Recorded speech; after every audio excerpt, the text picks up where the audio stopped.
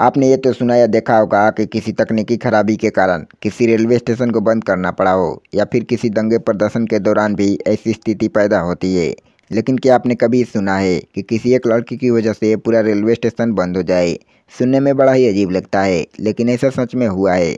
चलिए आपको पूरा मामला बताते हैं। दरअसल जिस रेलवे स्टेशन की हम बात कर रहे हैं वो पश्चिम बंगाल के पुरुलिया ज़िले में है और इसका नाम है बेगुनकोडोर रेलवे स्टेशन। साल उन्नीस सौ साठ में रेलवे स्टेशन खुला और इसे खुलवाने में संथाल की रानी श्रीमती लचन कुमारी का अहम योगदान रहा।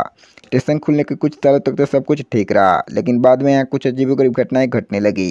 साल उन्नीस की बात है जब एक रेलवे कर्मचारी ने स्टेशन पर एक, एक महिला का भूत देखने का दावा किया था। इसके बाद यह अफवाह तेज़ी से फैलने लगी। इस महिला की मौत इसी स्टेशन पर एक ट्रेन दुर्घटना में हुई थी। रेलवे की तरफ़ इस बात को लोगों को बताया गया, लेकिन किसी ने इस पर विश्वास नहीं किया। वहीं उस वक्त सब चौक गए, जब बेगुन कुडर के स्टेशन मास्टर और उनका परिवार रेलवे क्वार्टर में मरे हुए मिले। यहाँ रहने वाले लोगों का दावा था कि इन मौतों में उसी लड़की का हाथ था। उनका कहना था कि महिला का भूत सूर्य डलने के बाद जब भी कोई ट्रेन यहाँ से गुजरती थी तो उसके साथ साथ दौड़ने लगती थी और कभी कभी आगे भी निकल जाती थी। साथ ही कई लोगों का कहना था कि भूत को पटरियों पर नाचते हुए भी देखा गया था।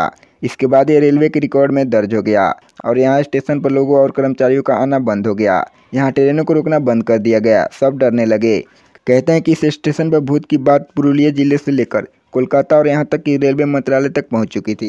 यह भी कहा जाता है कि उस वक्त जब भी कोई ट्रेन इस स्टेशन से गुजरती थी तो लोको पायलट स्टेशन आने से पहले ही ट्रेन की गति बढ़ा देते थे, ताकि जल्द से जल्द वो स्टेशन को पार कर सके।